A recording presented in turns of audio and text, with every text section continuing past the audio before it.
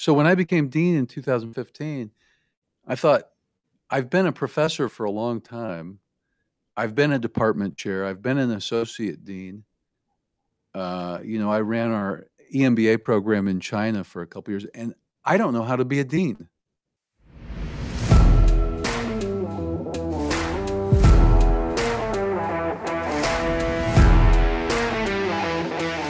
If you want to drastically improve your business, learn proven growth strategies, and generate sustained results for your organization, you've come to the right place.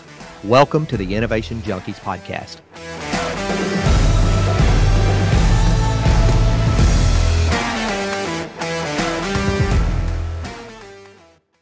Hey guys, welcome to another episode of the Innovation Junkies podcast. My name's Jeff Standridge. Hey, this is Jeff Amron. Glad to be back for another episode. How you doing, man? Yeah, pretty good. No complaints. Kind of uh, iffy weather out there today, so as it was yesterday. Typical stormy day in in spring in Arkansas, right? Yeah, we we had some flooding in downtown Conway night before last. A couple of tornadoes, but you know, I, I slept pretty well through it. Enough water to kayak down the streets, or no? Yeah, absolutely. I mean, you could have absolutely done that. Jeff got a great guest with us today, Matthew Waller, Dean of the Sam M. Walton College of Business at the University of Arkansas, uh, where he not only serves as Dean, uh, Dean Waller also serves as the Leadership Chair and Professor of Supply Chain Management. Uh, in addition to all the work he's done in academia, Matt serves on the board of the Winthrop Rockefeller Institute, co founder of Bentonville Associates Ventures and Mercari Technologies. He's co author of a number of books, including uh, Purple on the How JB Hunt Transport Set Itself Apart in a Field of Brown Cows, and his most recent book, The Dean's List Leading a Modern Business School. Uh, Matt, great to have you with us today. Nice to be here. Thank you for having me. Yeah, you know, absolutely, absolutely. How's the weather in your in your neck of the woods right now? It is cloudy and, um, sprinkling and warm, but it's supposed to get cold colder all day all day long. I think it's gonna get down to the 40s, but it's also windy. So I'm I'm looking forward to going for a nice stroll outside. Well, one of the things we like Yeah, to do is it is talk about kind of a, a random musing as part of the podcast. And so a good way to kick it off is is uh, Dean Waller. What was your most memorable stormy day? My most memorable stormy day was um, back in about, I think it was probably 1998 or 97. I don't remember exactly, but we um, we'd lived in Northwest Arkansas for a few years. We moved here in 1994 and uh, the weather looked kind of bad. It was a Saturday, and we had, um, I guess it, it must have been 1998 because we had three kids at home. One was a, a baby, and um, and I noticed these big black clouds that looked really unusual um, on the horizon. But I had a lot of yard work to do that day, and I was out working in the yard, and I realized I need to go to Lowe's and get some some things. And so I went to Walmart and then I went to Lowe's. And um, when I was getting in my car, the wind picked up really strong. Um, I opened my car door and I thought it was about to rip the door off. I come from Kansas City, Missouri, and um, back then I was in Platte County, um, kind of a rural area, I say Kansas City, but it was actually not in the city limits. But we had we used to have lots of tornadoes. They don't they don't have as many as we used to have uh, up in Platte County. But I remember every summer, you know, we'd be in the basement uh, couple to the summer because of tornado warnings. And um, back then, they didn't send you to the basement until you know they'd spotted a tornado on the ground. You know, because they didn't have the the capabilities, the Doppler radar and all. So, at any rate, um, that picture went in my mind. I've seen lots of destruction from from um, tornadoes, and and I didn't have a cell phone, right? But I wanted to tell Suzanne we didn't have a basement. We don't have basements here. Uh, but I hurried home, and uh, by the time I got home, it wasn't it wasn't too bad. You know, it was like there was damage. There were you know limbs down in our yard and things like that. But uh, but it scared me because I just pictured our kids up in their beds taking naps and a tornado hitting. So that's my most memorable one. Wow. Jeff, what about you? Um, you know, I my most memorable storm, I have several, but they're generally most memorable day after days after the storm. You know, I've spent a number of years as a paramedic and and so, you know, there were a couple times we had to go out in the storm and someone who had been injured in the storm. Most of them were uh, were day after and I, I, it was it was actually 2014 and i wasn't i years away from being in the medical field i was still i was at Acxiom at the time and i got up and saw the image in Vilonia on on tv um, and so i just drove out there and they had the roads blocked and and told the guy look uh, former medic former they were calling for anybody to come and help that had any experience at all and so he just waved me through and i went on in and joined a team and we went went house to house, just kind of looking for folks that we could help. And it, it was, it was most memorable because of just the sheer devastation. I mean, it's just unbelievable how giant virgin uh, uh, oak trees were twisted off mid shaft and and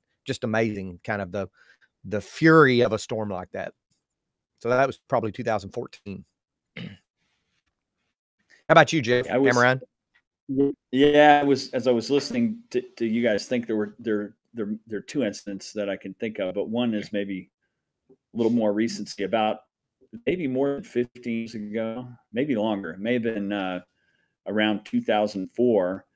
I I uh, used to ride long distance uh, bike rides quite a bit, and the very first one I did that was cross state was from the Colorado border to the Missouri border in Kansas and on the second day of it, we were, it was a southern route. On the second day of being out on our road bikes, we see we saw this spectacular supercell out in front of us on the road, probably about five miles ahead. And turns out it was an EF4 tornado mm. that went right across the road, and we got to witness all that about four miles ahead of us. You could see the cloud on the ground. We could see it was wrapped. Um, so that's pretty spectacular. Talk about being exposed. Four knuckleheads out on bikes on a road with no cover anywhere in uh, southwestern Kansas and a tornado across the road. Now, thankfully, we were fine, and it, it you know tore up some wheat fields and whatnot out there, but didn't hurt anybody.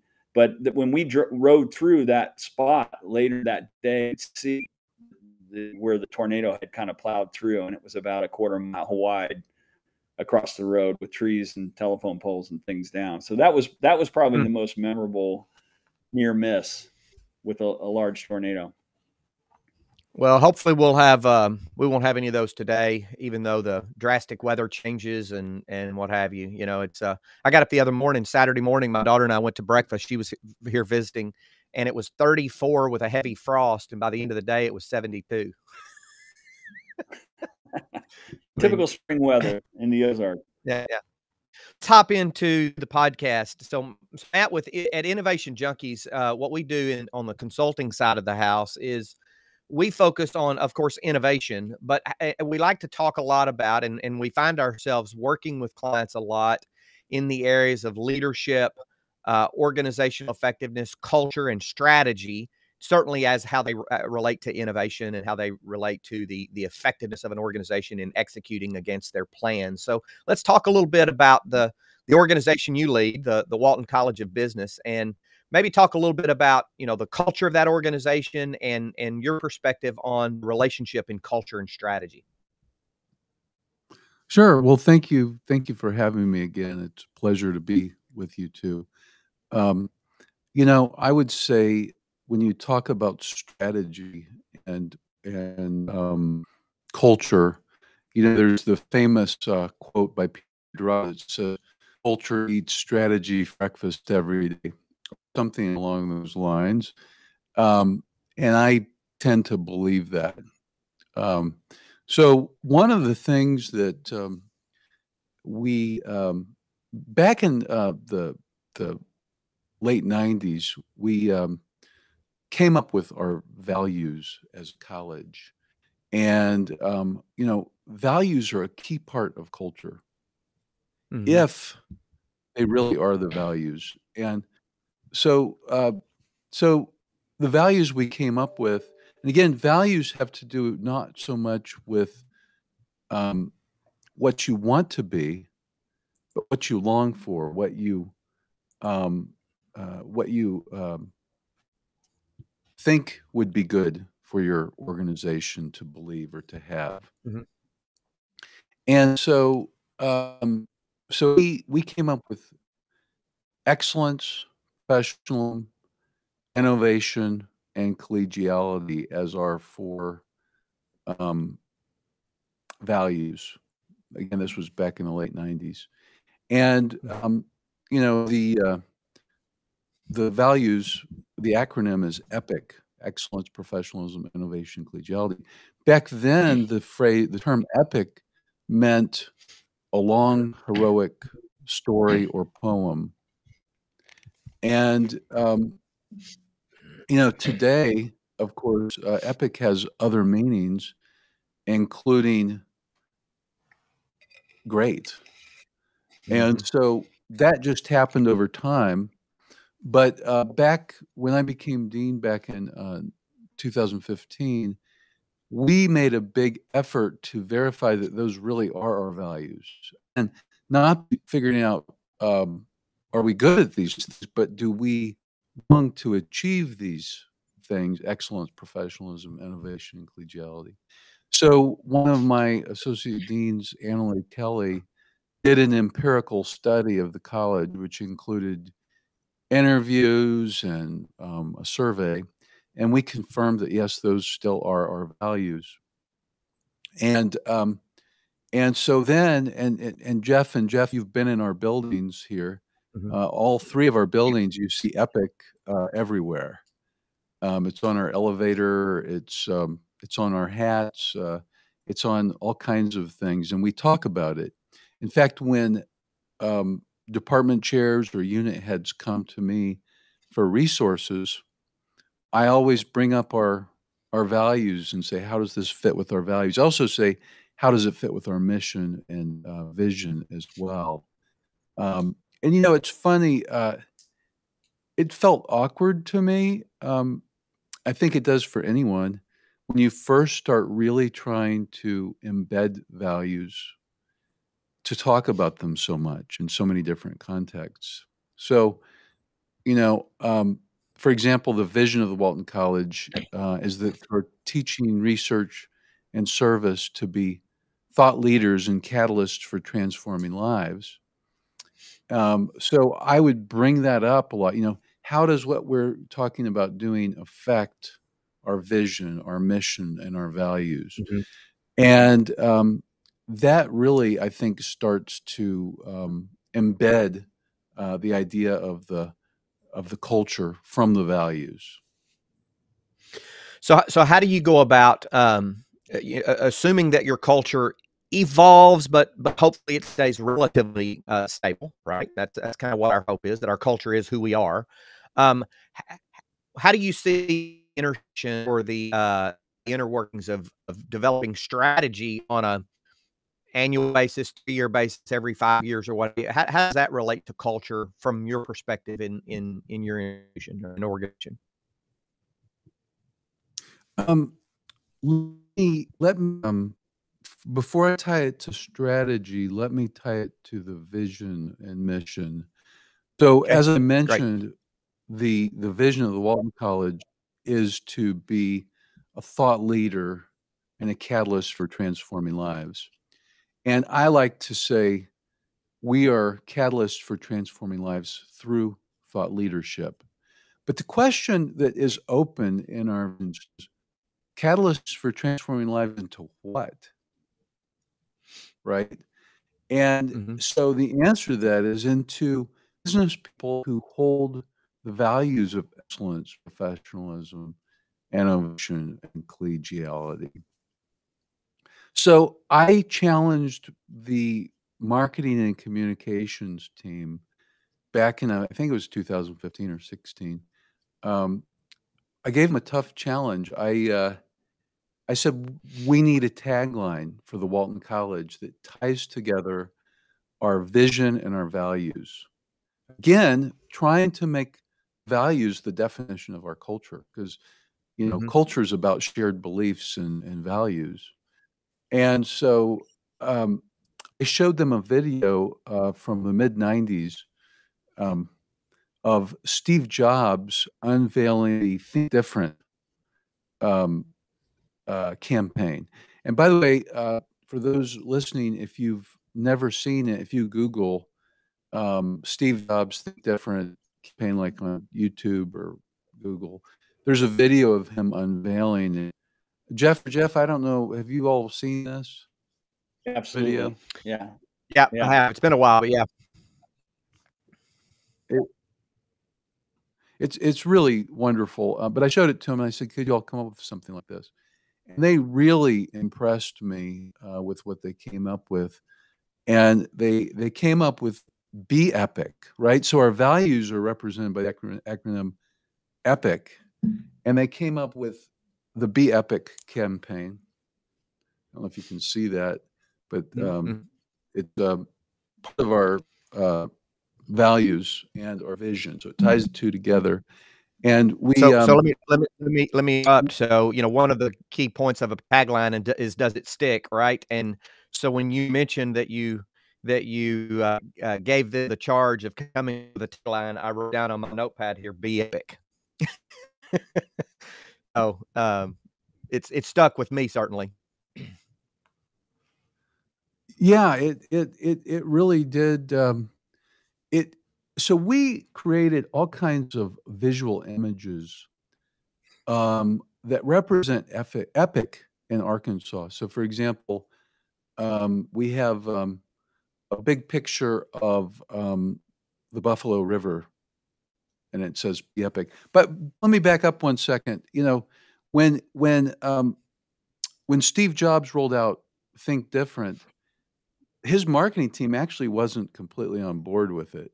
Um, hmm. They wanted to talk about features and functions, and he wanted to talk about different. And so the campaign, you know, one of the first uh, elements of the campaign was a um, painting uh, on the side of a building in Manhattan, Muhammad Ali standing there with gloves, and it's different. Apple.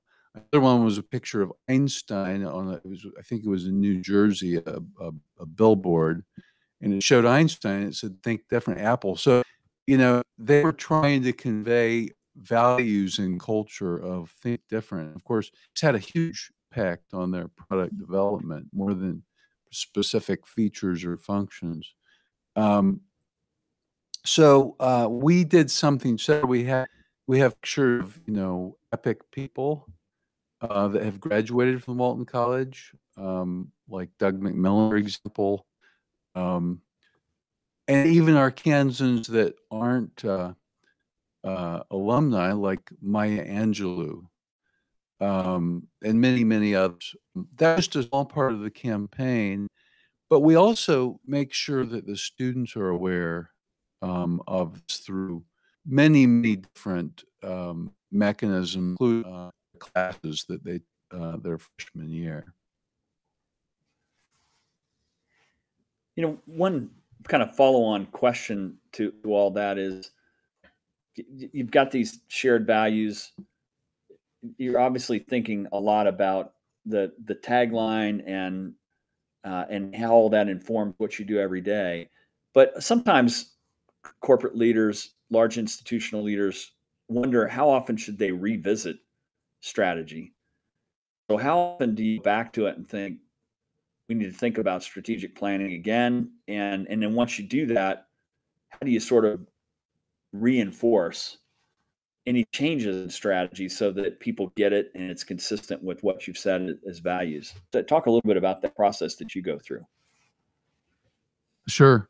Well we've changed the process the years. I've been here 28 years so seen a lot of strategic planning um, that's been done here. Sometimes it feels like we're always strategic planning. Um, but we try to come up with a brand new strategic plan every five years.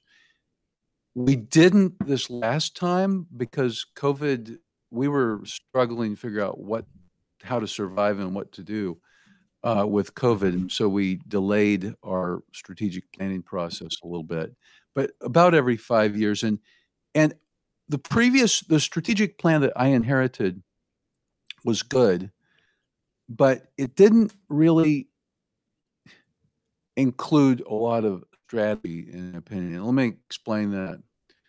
Um, so, for example, um, one of our uh, pillars of our strategic plan was to be outstanding teachers, right? And we had uh, another one, be outstanding researchers. I'm not saying it exactly the word. That's the the notion.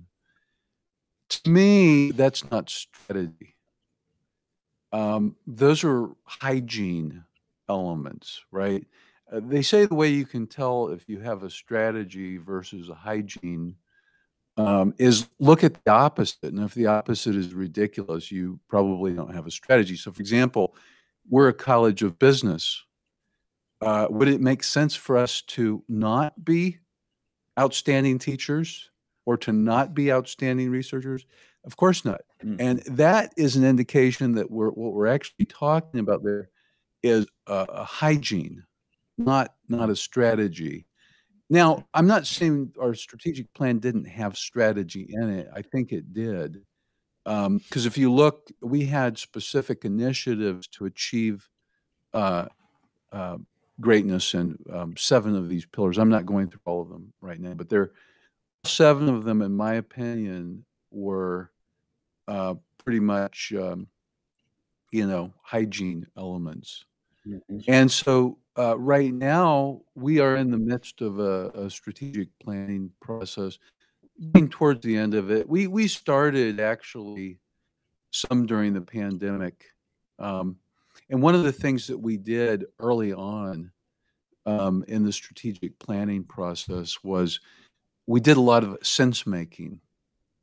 And sense making is when you look at the environment around you and say, what does this mean and what does this mean for us so we um, you know we looked at things like trends in demographics uh, for graduating high school students trends in terms of what companies are looking for um, mm-hmm. in um, alumni and students and all kinds of trends we looked at lots of trends we said that as a leadership team we said what do these trends mean for us? What decisions do we have to make as a result of these trends? Um, so um, we did that. We um, we also got a lot of other people involved, across, but then it really slowed us down on that, and we restarted. And um, we've used lots of uh, interviews and discussions with groups within the college. And uh, so, so to answer your question, about every five years, we want to come up with a new strategic plan. Um, two, we um, we want to make sure that uh, there is procedural justice involved in any strategic plan that we create. And, and procedural justice don't mean that in the legal sense, but in the organizational, and that is people feel like they had a voice in it? Did they have a voice in it? Uh, you know, when you're creating strategy, of course, you want to make sure that your strategies align with your your values and your your vision and mission really clearly. But you also want to make sure that everyone's been heard. Mm-hmm. It doesn't mean that every idea that comes out of every mouth is is um, is incorporated, but there needs to be an attempt to incorporate and or rethink things even if it takes a long time a lot of effort mm-hmm. um, because uh, you know that's key for getting buy-in mm-hmm. Yeah ultimately so, you want uh, people to internalize it as well i mean that, yep. that process of of making that part of the process means they're going to internalize it and it will inform they do every day rather than it being something that's kind of thrust upon them from upon high. That, that makes perfect sense. Yeah, and so we're we're still in the process of of doing that. We've come out with five strategies that we're we're not ready to go public with because we're not sure. Especially one of them um, is is a question. But for this last group of of strategies, we went to we we interviewed um, lots of faculty and staff and student and one thing we asked is for this this group of five, is there any you would throw out? Hmm. And there was one that a lot of people, you know, you could tell they were hesitating with, but, but the bottom line was no felt any of the five should be thrown out. And that's a that's huge to get to that point. Uh, actually, I've not seen that happen quite like that before.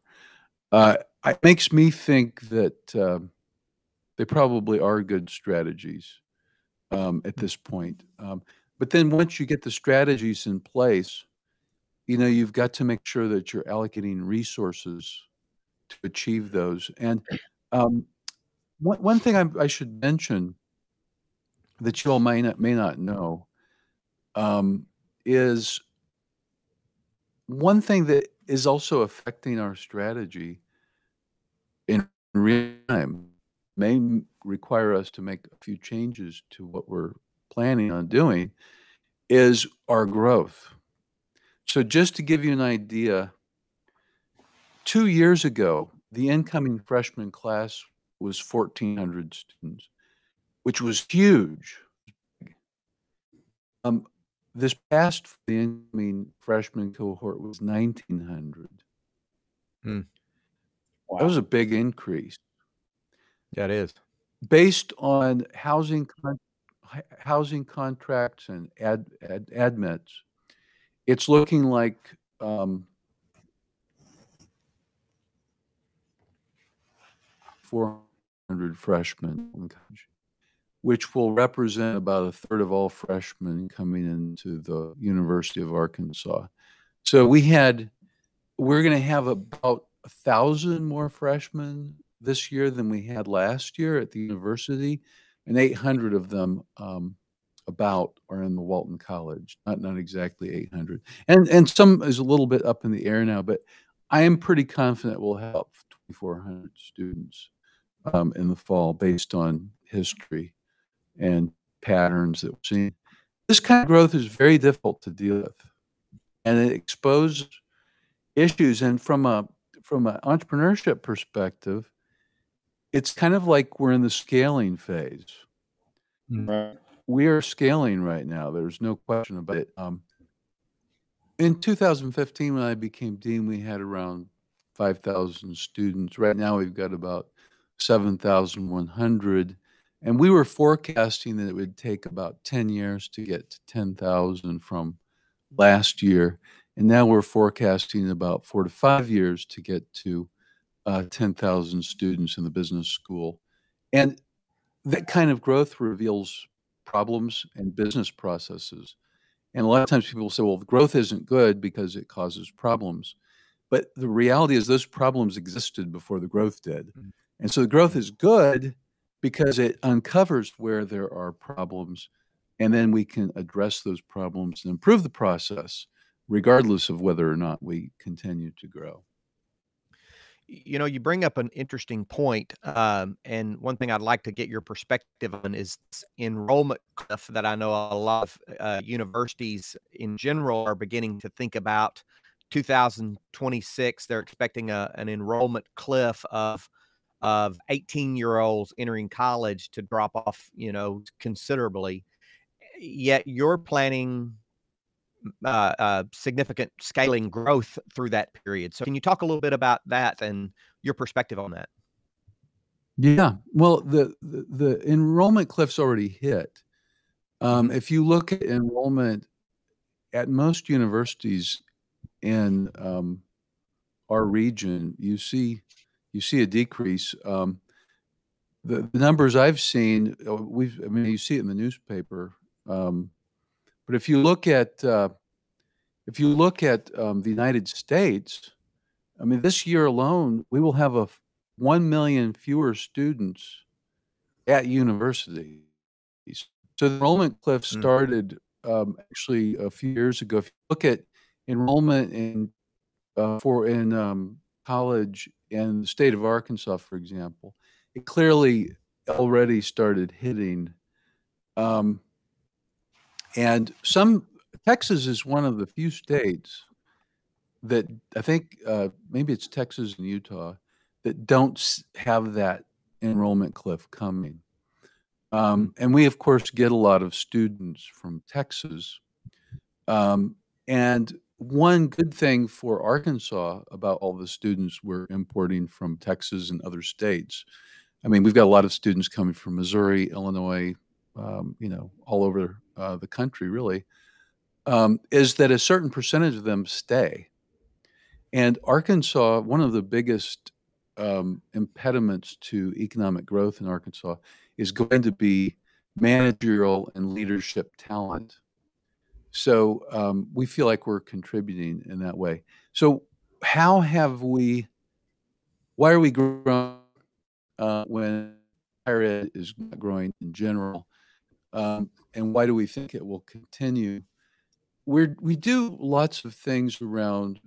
Uh, we've got the innovative programs um, for one thing, um, and they, we keep adding innovative programs. We're getting students more engaged in those programs, but we also answer questions. For example, you know, when students are going to college, a real common question they have is, "How do I apply for scholarships?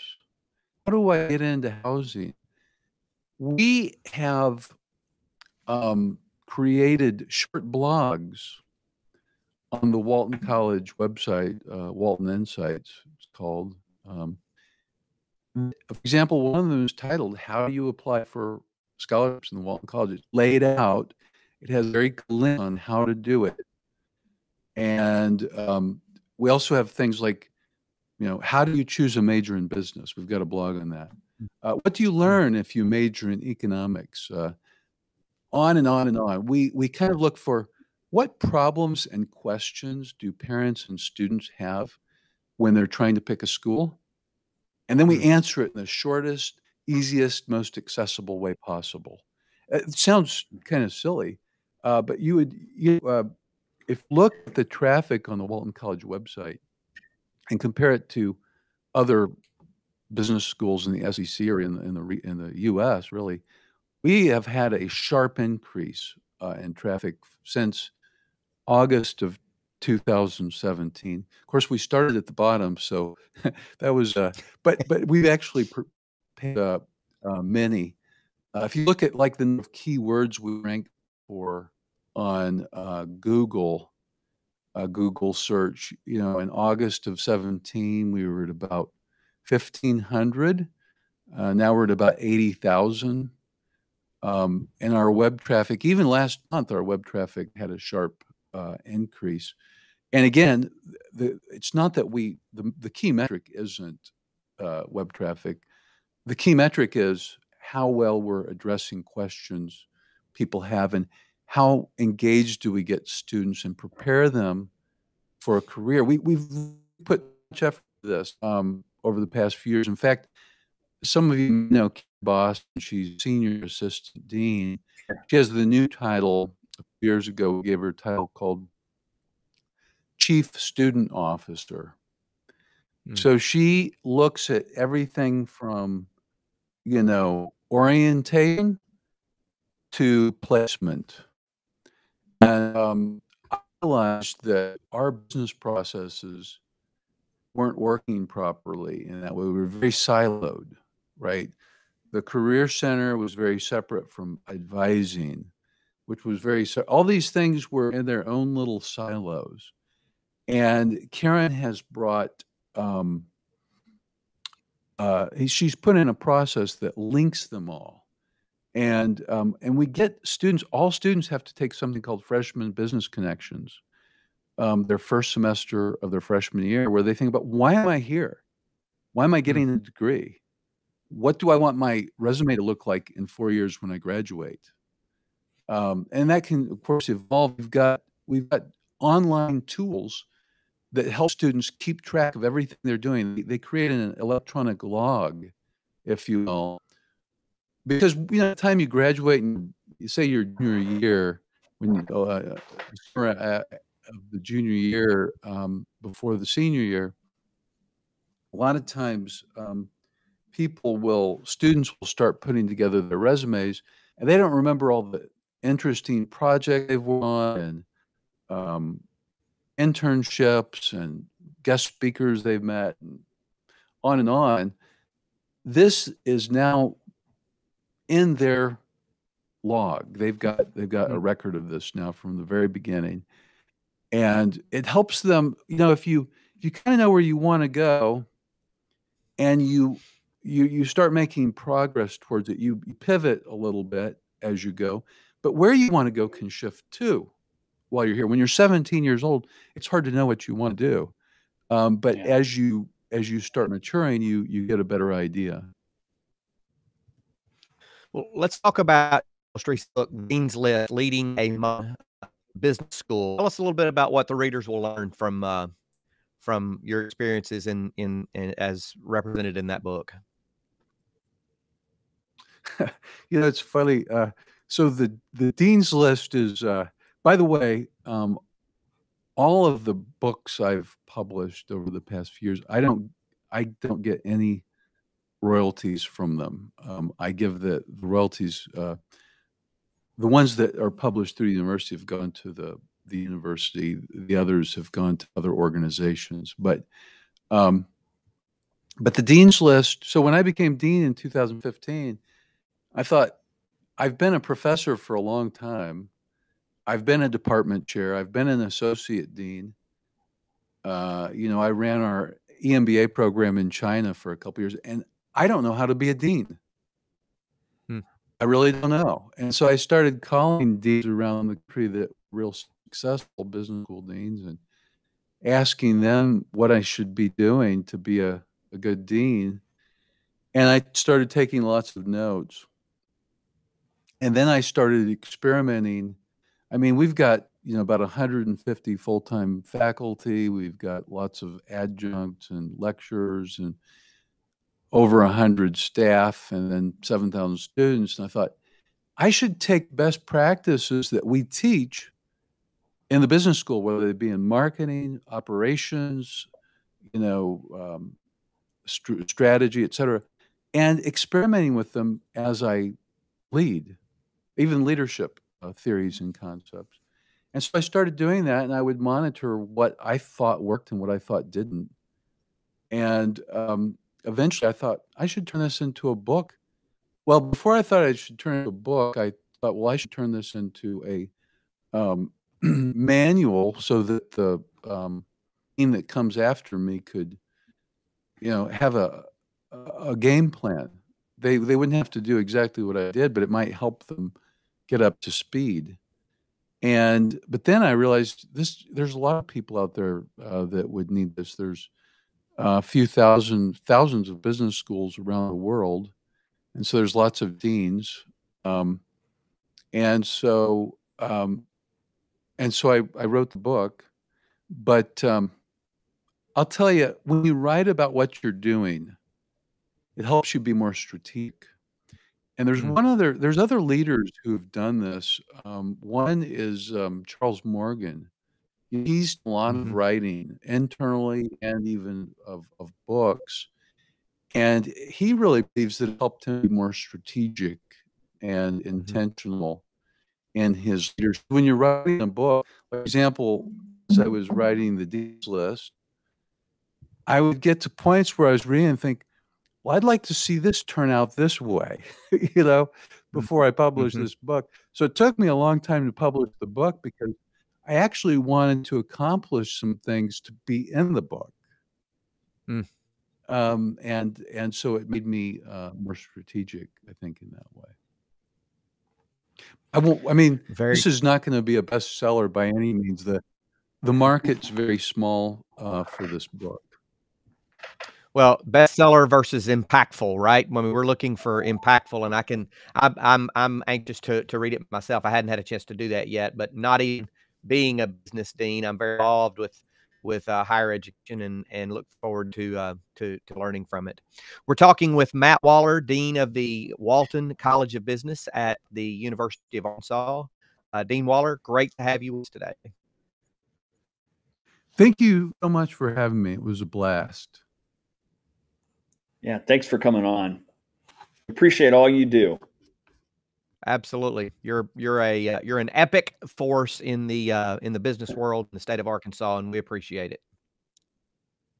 Well, thank you. I appreciate what you two are doing to drive innovation and entrepreneurship in Arkansas. So thank you as well.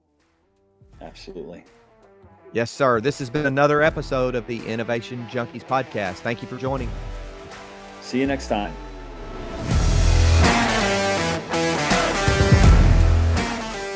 Feedback from listeners like you helps us create outstanding content. So if you like this episode, be sure to rate us or leave a review. Also, don't forget to subscribe to get the latest growth and innovation strategies. Thanks for tuning in to the Innovation Junkies podcast.